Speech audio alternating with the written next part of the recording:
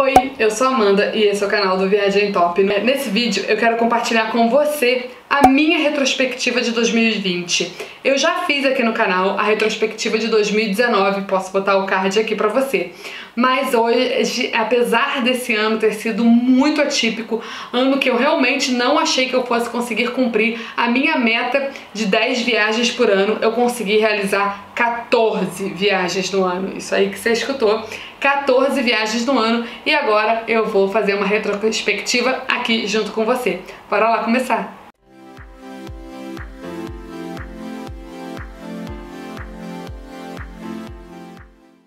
Bom, é, é óbvio que eu tenho que começar falando como esse ano foi um ano diferente de tudo que nós todos aqui no mundo vivemos.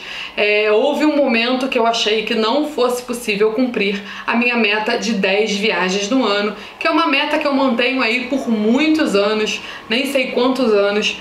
Como eu gosto muito de viajar e para mim viajar é uma prioridade, não necessariamente essas viagens são longas e grandes, mas eu tento é, conhecer e ir para lugares diferentes pelo menos 10 vezes por ano. E teve um momento que eu achei que realmente não fosse possível. É, eu viajei é, no Réveillon, e viajei em, em fevereiro, no Carnaval, e assim quando eu voltei da viagem de Carnaval, é, foi decretado que ninguém podia sair de casa e que tudo estava fechado, os hotéis estavam fechados, enfim, tudo estava sendo fechado e readaptado e teria que ser readaptado.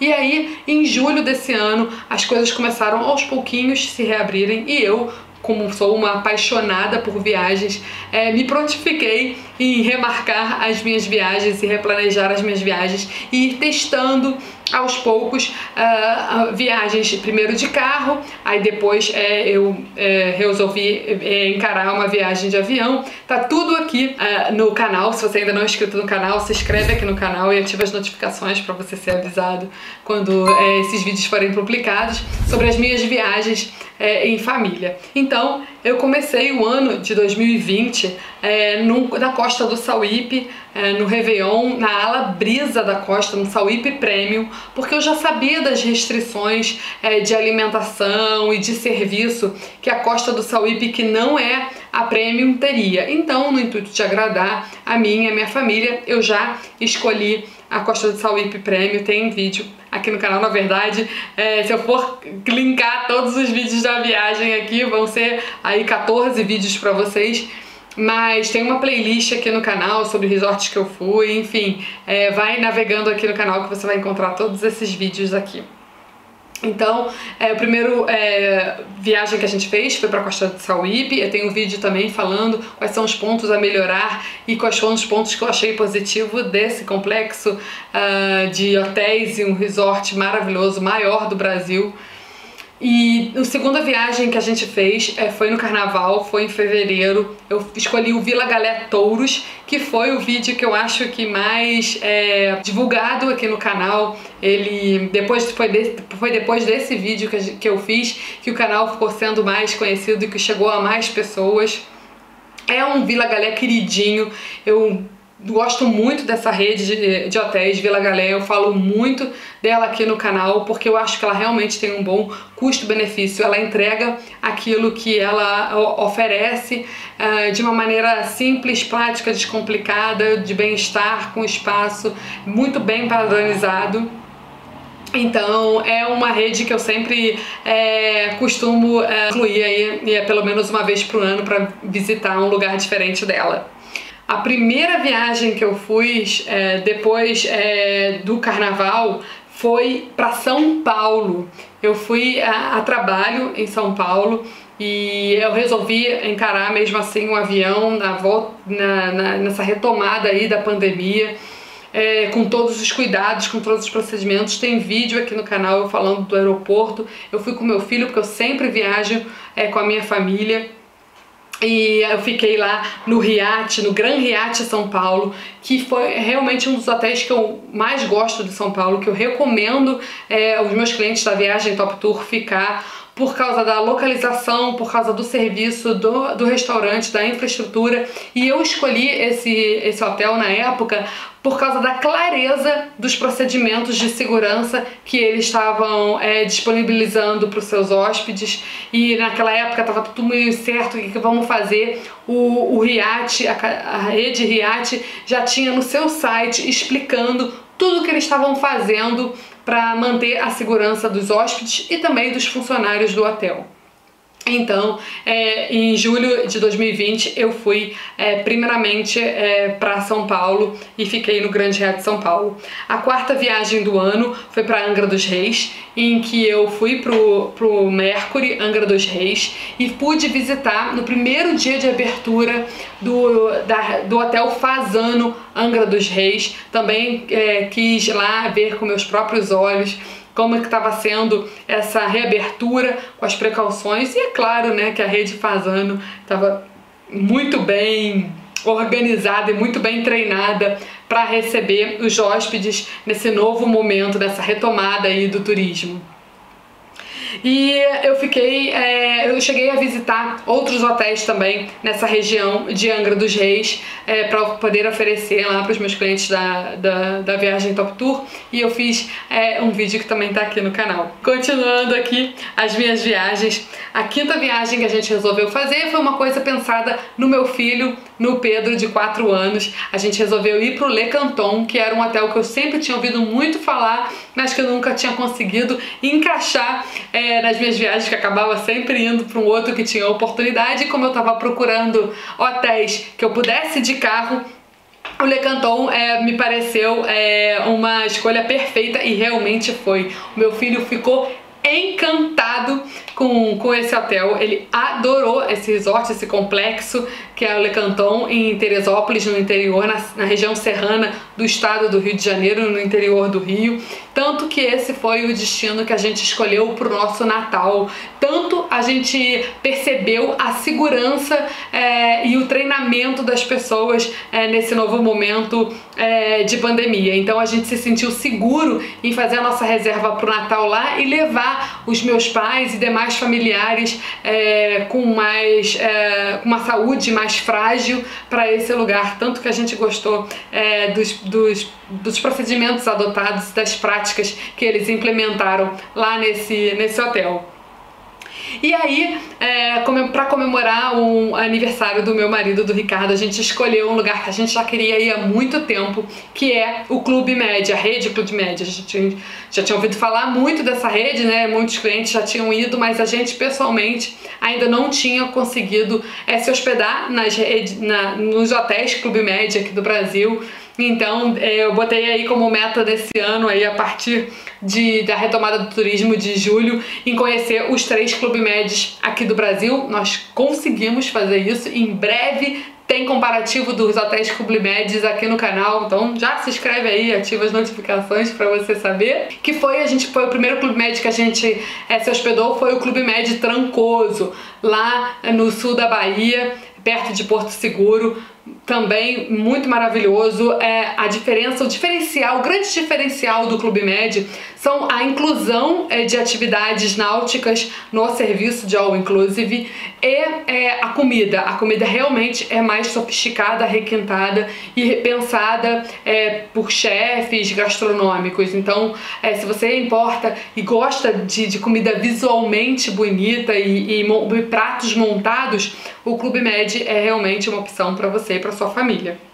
E aí, uh, no meu aniversário, na sequência, em outubro, é, eu já tinha reservado um clube médio para ir, mas bem no dia do meu aniversário eu não sabia se a gente podia viajar ou não. No final a gente ia conseguir viajar e eu resolvi, uh, meio que em cima da hora, reservar no Búzios Beach Resort, é, na área de Búzios. A Costa Azul é uma região que a gente conhece também como região dos lagos, que inclui Cabo Frio, é, Arraial do Cabo, Búzios, Araruama, Maricá e um monte de lugares realmente de praias lindas, águas cristalinas, uh, praias boas, uh, lugares realmente muito bonitos, muito paradisíacos, que são pouco divulgados aqui é, no Brasil. Eu vejo pouca divulgação dessa região e eu que viajo para lá desde criança, porque meu avô tinha casa lá na região dos lagos, é, fico muito feliz em quando uh, recebo pedidos de pessoas que querem conhecer essa região, porque ela é pouco divulgada para a quantidade de beleza, né, para a intensidade de beleza que essa região aqui tem no estado do Rio de Janeiro.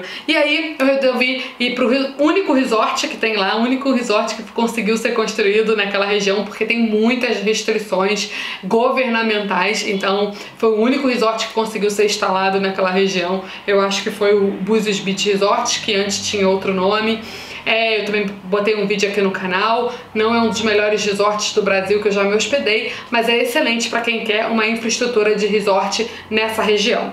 O próximo uh, resort que eu fui conhecer foi um que entrou para os meus top list, que provavelmente vai ter top, provavelmente vai ter uh, top list de melhores resorts all inclusive atualização agora no ano de 2020.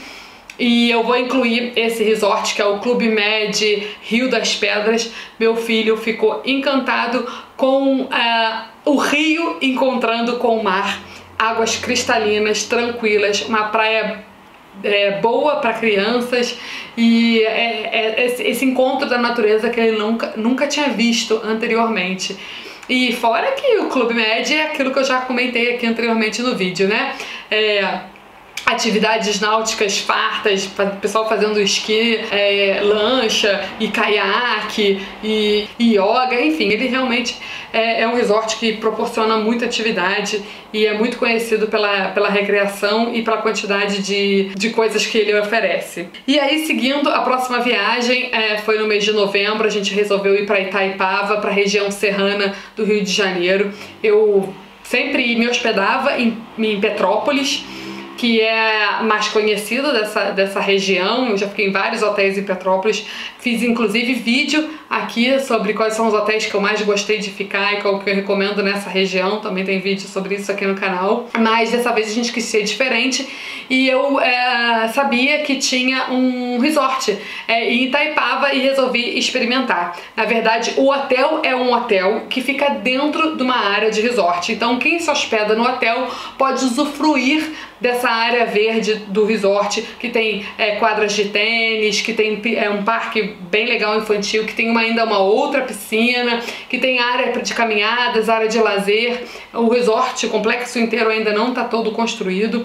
Ele tem é, quase 10 anos mas é, já, já oferece um monte de atividades e foi muito acertado porque eu podia passar o dia amanhã pelo menos no complexo e à tarde ir e voltar caminhando até o centro de Itaipava, até os melhores restaurantes ali daquela, da, daquela regiãozinha ali de Itaipava. Se você também não viu o vídeo, tá aqui o vídeo com maiores explicações aqui no canal. E aí, a próxima viagem que a gente fez foi para Penedo, já, já é agora é dezembro, então a gente, a nossa décima viagem a gente escolheu ir para Penedo, porque a gente sabe que tem lá é, um espaço mais decorado, natalino, é, com a casa do Papai Noel. Lá tem uma pousada, o hotel do Papai Noel, e, e a gente sabe que é uma região e que uh, sempre é bem procurada nessa época de Natal, com mercadinho de Natal, com itens é, para você decorar a sua casa, com esse, uh, com esse tema natalino, com esse espírito. Então, Penedo foi a nossa escolha por causa desse, uh, desse clima natalino que poderia proporcionar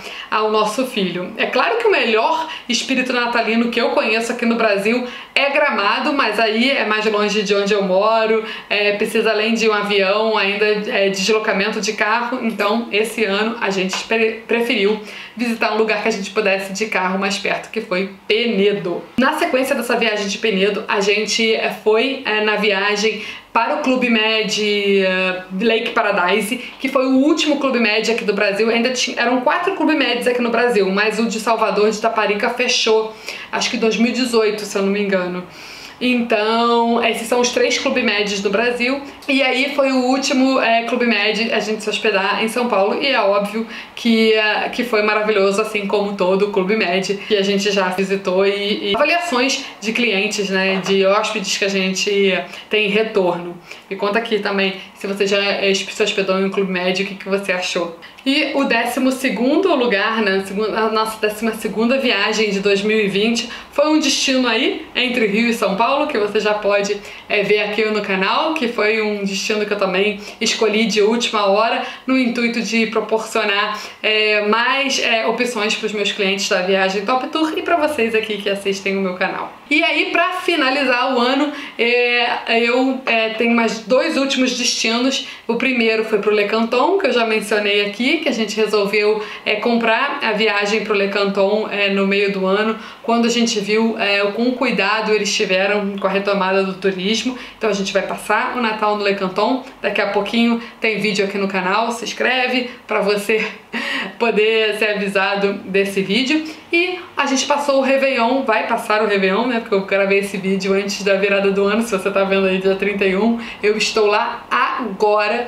no Bourbon Atibaia Turma da Mônica. Eu escolhi esse resort para me hospedar na virada do ano porque o meu filho tá gostando muito de Turma da Mônica, das revistinhas, dos desenhos, das historinhas e a gente queria um lugar que com certeza tivesse um fogos na virada do ano, uma ceia de Natal na virada do ano. Então, quando a gente começou a pesquisar sobre isso, a maioria dos resorts e hotéis não estavam dando garantias de, de fogos e de comemoração de virada do ano. E o Bourbon Atibaia foi um dos poucos resorts que asseguraram que alguma coisa eles iriam fazer dentro das medidas de segurança, dentro do possível, e aí juntou é, essa garantia com é, o diferencial que eles têm, que é a, a temática da Turma da Mônica, para a gente escolher, é, para a gente passar o nosso Réveillon e começar um 2021 de uma maneira diferente. É a, é a primeira vez, depois de muitos anos, aí mais de 10 anos, que eu passo em lugares de praia, em lugares de mar, em, no litoral. Então, é para finalizar esse vídeo, eu quero desejar para você um 2021 muito melhor do que foi 2020, que seja realmente um ano muito mais incrível, de maior crescimento, de melhor evolução do que foram os anos anteriores, que você tenha muitas boas histórias para contar, que desenvolva boas histórias, boas experiências, boas viagens em 2021. A gente continua aqui no canal do Viagem Top em 2021, esperando você e contando aí com o seu retorno, com, a sua, com seus comentários, com o seu compartilhamento, com a sua audiência. Muito obrigada por você estar é, tá aqui comigo nessa, nesse dia, nessa virada do ano. Eu acho que 2020 é um ano que realmente entrou para a história, um ano realmente diferente de tudo, muito único. Não haverá um ano é, tão marcante é, quanto 2020 aí por um bom tempo. Assim eu acredito. É, aproveite essa virada do ano, esteja com a sua família, agradeça por tudo de bom que você tem é, na sua vida. Foque nas coisas boas, no positivo, nas suas conquistas, nas coisas boas que você aprendeu, na, na nova pessoa que você é, que eu tenho certeza que 2021 vai ser um ano melhor para mim, para você, para todos nós.